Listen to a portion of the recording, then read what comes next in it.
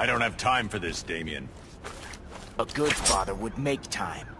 A better son would deserve it.